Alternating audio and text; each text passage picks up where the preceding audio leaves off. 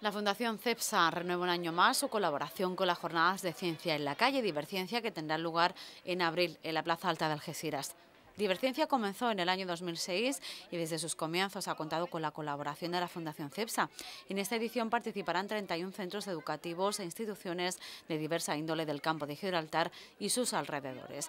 Esta actividad está impulsada por un grupo de profesores que pretenden hacer del aprendizaje de la ciencia algo divertido y desde su primera edición ha contado con el patrocinio de la Fundación CEPSA. Así promueve el acercamiento de los jóvenes estudiantes de secundaria y bachillerato al mundo científico desde un prisma muy innovador.